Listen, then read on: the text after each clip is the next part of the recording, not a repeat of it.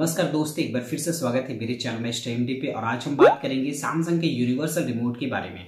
तो जी हाँ जिन भी कस्टमर्स के पास या फिर जो भी मेरे दोस्त भाई, जो व्यूवर्स देख रहे हैं ये वीडियो आपके पास अगर सैमसंग का टीवी है और ये रिमोट आपके पास है तो इस रिमोट के थ्रू आप अपने सेट टॉप बॉक्स केबल वाला सिटी केबल यानी कि सब कुछ लाइक जैसे होम थिएटर डीवीडी और ओटीजी गेम्स वगैरह, सारे डिवाइसेस काफ़ी आसानी से आप कंट्रोल कर सकते हैं।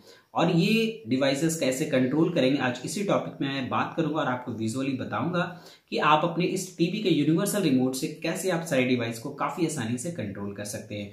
तो चलिए वीडियो को स्टार्ट करते हैं और अपने भाई को अगर आप सपोर्ट करना चाहते हैं तो वीडियो को लाइक कर सकते हैं। जो लोग चैनल पर नहीं है तो चैनल को सब्सक्राइब ज़रूर करें। तो चलिए शुरू करते हैं। स्टार्ट करते हैं। सबसे पहले आपको दिखाते हैं। ये रिमोट है, जैसा कि आप सभी के पास होगा।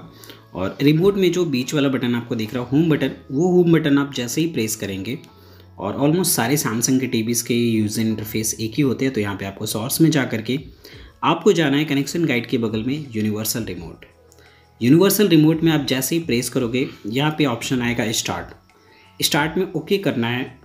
ओके करने के बाद जो यूज़र इंटरफेस होगा, वो कुछ इस तरह से होगा।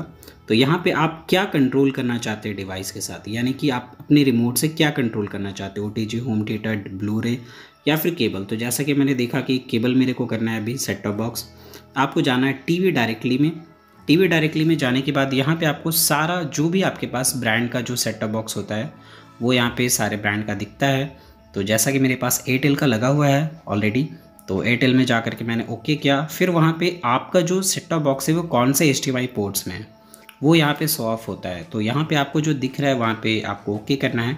और यहाँ पे सिंपल बोला जा रहा है कि चैनल अप करें आप।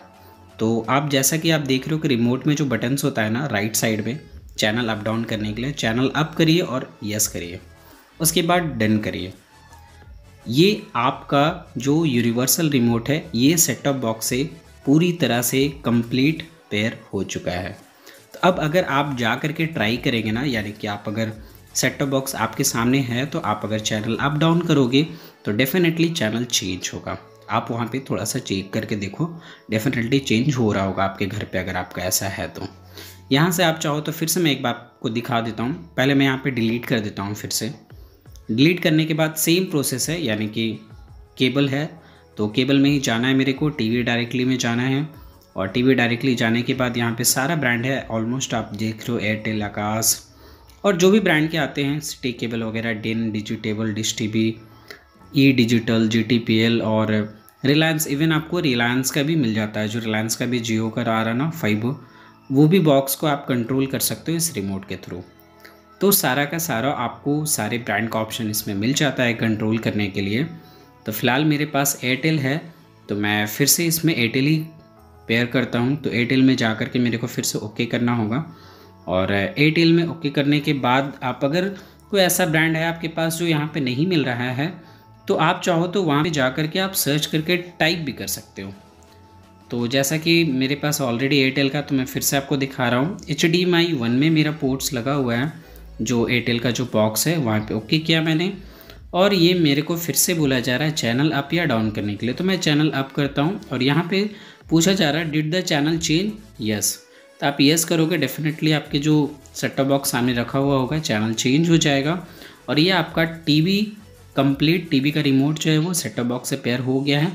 अब आप अपने इस रिमोट से सारे कुछ कंट्रोल कर सकते हो अपने आई होप आप सभी के डाउट्स और जो भी कंफ्यूजन होगा इस फीचर्स रिलेटेड आपका कंफ्यूजन वो दूर हो गया होगा। बट अगर फिर भी इस रिमोट रिलेटेड या फिर किसी और तरह का, किसी भी तरह का क्वेरी है आपके पास तो पूछिए मेरे से कमेंट सेक्शन में। चाहो तो मेरे को आप इंस्टाग्राम में फॉलो कर सकते हो। यहाँ पे भी आप मेरे से कुछ भी क्वेश्चन हो, कुछ भी क्वेरी है, आप मेरे से पूछिए। मैं कोशिश करूँगा आपके सारे सवालों का जवाब देने के लिए, और इसी तरह अपना प्यार और सपोर्ट दिखाते रहिए। जल्दी मिलते हैं नेक्स्ट वीडियो में, तब तक के लिए धन्यवाद।